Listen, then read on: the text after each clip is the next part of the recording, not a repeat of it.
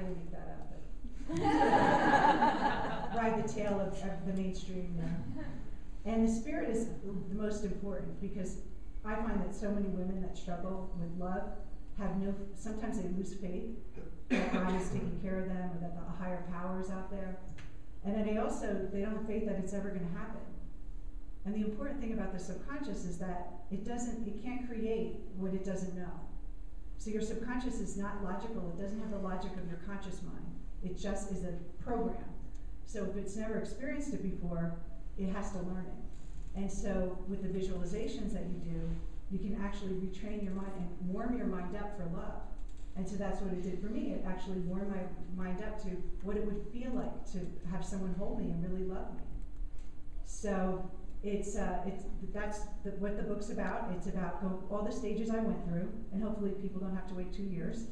Um, actually, uh, by me learning all these things and all these blocks that stopped me from attracting my man why it took so darn long, because I was helping other people and they were meeting people. One of the girls is in here right now, I helped her get married. She met a guy 30 days. Yay! And I said, how come she met someone 30 days later? And then I had, uh, recently I did a, a workshop here in Denver and I had a woman meet someone an hour later after she did a visualization with me. And so my hope with this book is to, for people to really learn the, whole- the whole package. It's not just about hypnosis.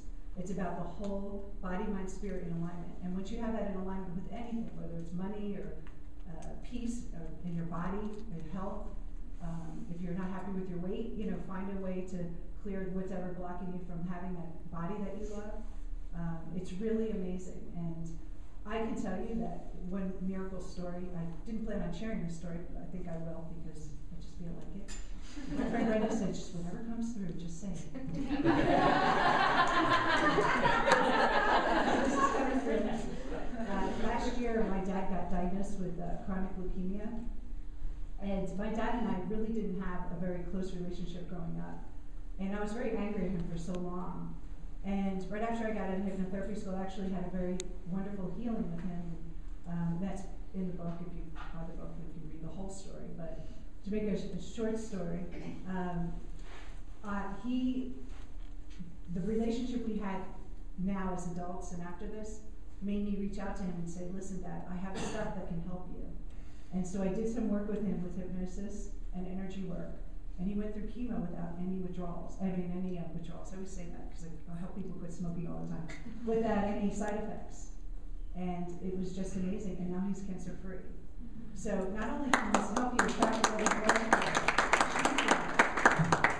and so I'm going to close now, and I hope I don't cry because I probably will. But I just want, if you really want love, I want you to know the type of love I do have.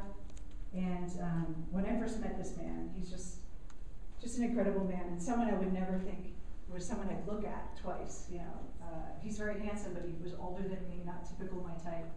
But I gave him a chance because I was warmed up for love, and I was ready for love.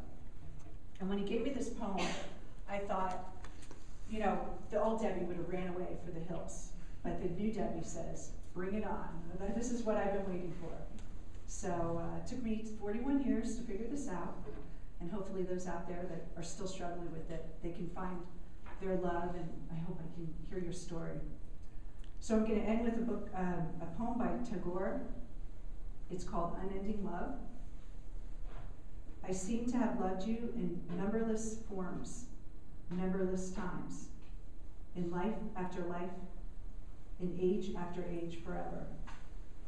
My spellbound heart has made and remade the necklace of songs that take you as a gift, wear around your neck in your many forms, in life after life, in age after age, forever. Whenever I hear old chronicles of love, its age old pain, its ancient tale of being apart or together, as I stare on and on into the past, in the end you emerge, clad in the light of a pulse star piercing the darkness of time, you become an image of what is remembered forever. You and I have floated here on the stream that brings from the fountain. At the heart of time, love of one another. We have played alongside millions of lovers, shared in the same shy sweetness of meeting, the same distressful tears of farewell. Old love, but in shapes that renew and renew forever. Today, it is heaped at your feet. It has found its end in you. The love of all man's days, both past and forever. Universal joy, universal sorrow, universal life. The memories of all loves merging into this one love of ours, and the songs of every poet, past and forever. So, this is what's possible.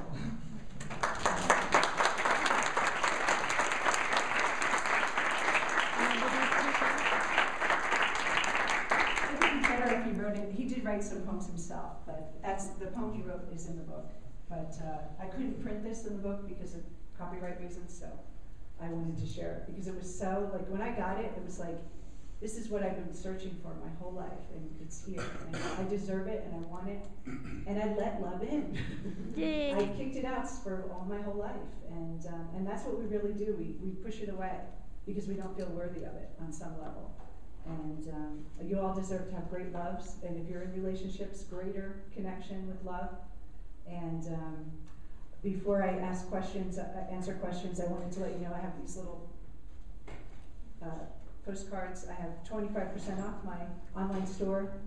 It's, uh, I have audio programs that you can listen to, to, uh, help you with all different things, smoking, love, confidence, public speaking, money. I know there's a lot of, I don't know if you've heard, there's some kind of financial crisis going on.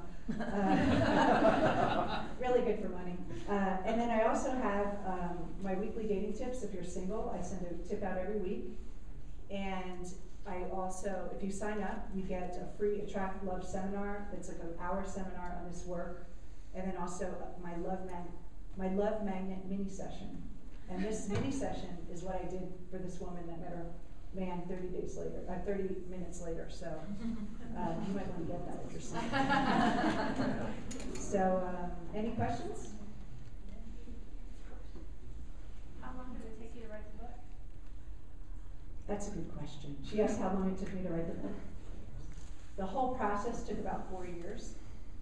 Uh, the book evolved from when I wrote it, because I started writing it before I met my man. And the first draft was a little, still a little angry, like, this is helping everyone else but not me. Not that angry, a little a little frustrated. And then when I, I kept refining and refining, and, um, the book that was sold was actually a different book than the original. And then I finally, uh, took about three months to write the book, because it just flew. I had it all set up and, yeah, after all the work, you just kind of like write it then. And so, yeah, it, it takes, it just depends on your process. Any other questions? Yes? What are the top five things you love about your man? Top five things I love about my man. Number one, he's spiritual. Um, number two, he's sexy. Number three, he's affectionate. Number four, he's very deep and we have deep conversations every morning, which is kind of nice sometimes where stops and the, the time stops. Um, and I guess number five would be his energy. I, when I'm with him, I feel like it's home. So